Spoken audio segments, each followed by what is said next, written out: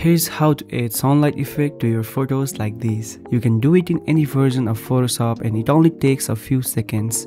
Watch till the end and if you like it, don't forget to hit the like button and share your feedback in the comments.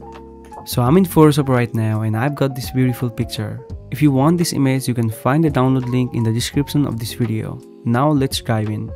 First, I'm going to create a new layer above the background layer by clicking the plus icon then let's add a gradient adjustment layer. Next, change the gradient style to radial. Now click the gradient box to open the gradient editor.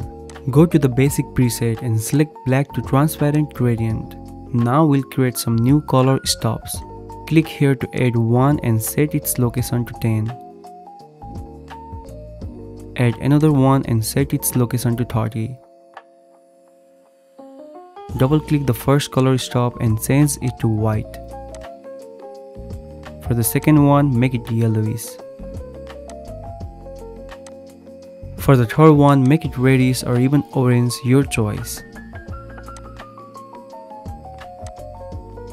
Keep the last color stop black. At the top of the black stop, you'll see an opacity stop. Drag it all the way to left so the effects doesn't look fake or overused. Set its location to 75, then click OK. Now scale it up little bit, then click OK again. Next, change the blending mode from normal to screen. Click the gradient thumbnail and now you can move your sunlight anywhere in the picture. You can also edit the gradient, change the colors or adjust the scale until you like the result. Once you are happy with it, click OK. And there you go, our sunlight effect is ready and it looks amazing. If you want to use the same effect on another image, just copy it by pressing Ctrl plus C, then open another photo and paste it using Ctrl plus V.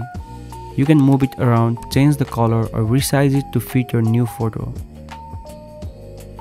And that's it. I hope you like this video. Thank you so much for watching and I'll see you in the next one.